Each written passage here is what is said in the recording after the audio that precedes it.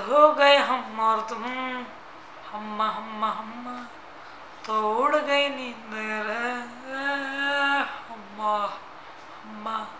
हम्मा हम्मा हम्मा ए, हम्मा हम्मा हम्मा हम्मा हम्मा।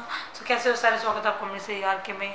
नमस्ते सभी को। सो आज मैं आपके साथ शेयर करूँगा अपना review about Go Air flight जैसे कि सारी फ्लाइट्स बुक करते हैं मैंने भी गो एयर की फ़्लाइट्स बुक की और इस बार मैंने घर वालों के साथ करनी थी तो इतना मैंने ये नहीं सोचा कि सस्ती सस्ती फ़्लाइट करते हैं बल्कि अच्छी से अच्छी फ़्लाइट करते हैं जिसमें कम से कम ड्यूरेशन लगता है और, और बेस्ट टाइम में सो पहली बात तो मेरी आज ट्वेल्व ट्वेंटी की फ़्लाइट थी from Bangalore airport to Port Blair airport ठीक है?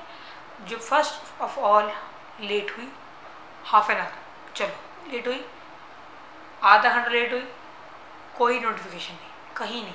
ना कोई अनाउंसमेंट ना कुछ। बस हम वेट करें boarding time boarding time's eleven thirty से कब ट्वेल्व हो गया, पता ही नहीं चला। तो boarding time late half an hour तो फिर फ़्लाइट चली भी लेट तो एक ऑब्वियस सी बात थी कि चलो लेट है। चलो, कोई बात नहीं। मौसम की खेत की वजह से हो गया। आपने कोई कंपनसेशन तो नहीं दोगे? लॉस तो एक कस्टमर एक एक एक्चुअली आज मैंने शायद पोर्ट ब्लेयर से आगे कहीं जाना था या कोई कुछ था ऐसा लिंकिंग कुछ तो उसकी कोई प्रॉब्लम अड़ गया? वो तो बहुत उसका चिल्लाया वगैरह क्या कर सकते हैं? गोयर का क्या है?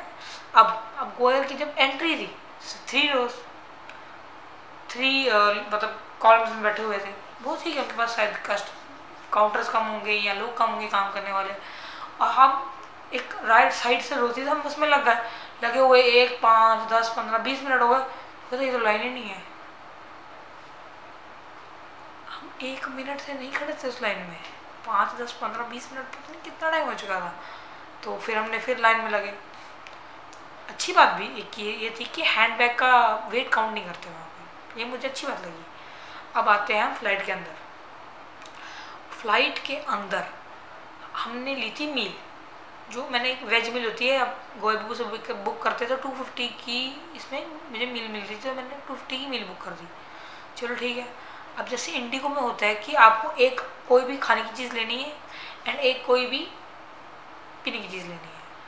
पर मैंने कहा, चलो, मैं तब तक हम मैं, मेरे पूरी फैमिली वाले सोच रहे हैं, ये खाएँगे ये खाएँगे ये खाएँगे। आया क्या? ये देखो, मैंने पहले क्या सोचा था और अब क्या सोचा है?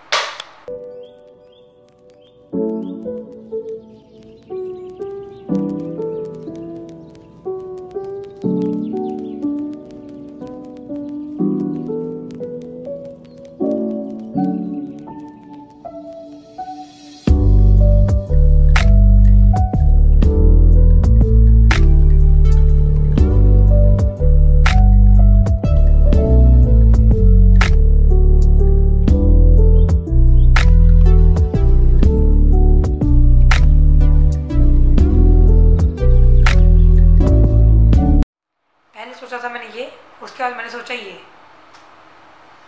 मतलब आया गया पनीर का एक रोल साथ में कोल्ड ड्रिंक। वो घर वाले ने दूध सोचा हुआ था पीने का। या ग्रीन टी सोची हुई थी पीने की। मैंने खुद दूध सोचा हुआ था पीने का। आई cold drink.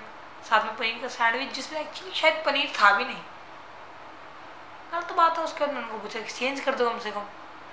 Cold drink hundred की, चाय भी हंड्रेड की। तो मैं कोल्ड ड्रिंक का मैं चाय या कुछ और क्यों नहीं ले सकता? गलत है यार। अगर कस्टमर को सेटिस्फाई नहीं करोगे तो कस्टमर छोड़ दे चला जाएगा मैं ये नहीं कहता हूँ कि कुछ अच्छी चीज़ें भी थी, कुछ गंदी चीज़ें भी थी, नहीं, पर यार, वो यार यार, आप अपना रिव्यू क्यों ख़राब करवा रहे हैं?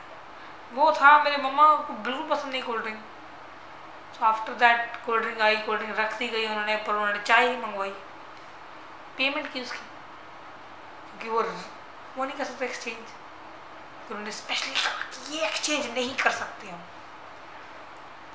चलो, अगर आपको मेरा गो एयर का review from Bangalore to Port बहुत पसंद आया तो इस वीडियो को लाइक करें शेयर करें कमेंट करें सब्सक्राइब करें मेरे को हिट करें नमस्ते।